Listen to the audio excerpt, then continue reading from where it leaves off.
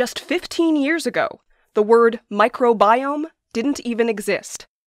Today, the United States has completed the Human Microbiome Project, and nearly every day scientists are reporting new discoveries about the trillions of bacteria and other microbes that live in and around us. It's tough to stay current, but one easy way to brush up is to tune in to LabRoots second annual Microbiology and Immunology Conference. Leading experts will cover some of the hottest topics in these fields, from the gut microbiome to GMOs, and why it's important to know which microbes call our subway systems and workplaces home. The webinar features a talk by Jim Versalovic, the pathologist in chief at Texas Children's Hospital and a professor of pathology at Baylor College of Medicine.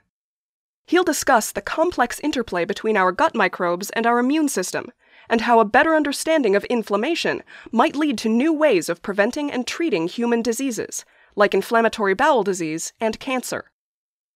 Other speakers include Dan Diekema of the University of Iowa, who will explain how to harness the microbiome to fend off the deadly infections people pick up in the hospital, such as C. diff.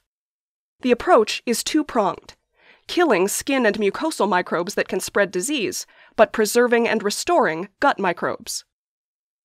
Amy Leber of Nationwide Children's Hospital in Columbus, Ohio, will go over state of the art ways to culture clinical samples in the lab and Matthew Fields, the director of the Center for Biofilm Engineering at Montana State University, will provide an update on biofilm diversity, from the various microorganisms to the associated structures biofilm communities make in different environments.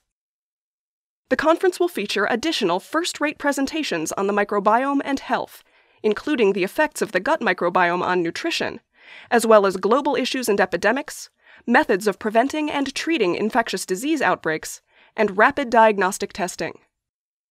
To catch up on these latest developments and more, and to discuss your findings with colleagues from around the world, join LabRoots free microbiology and immunology conference this September.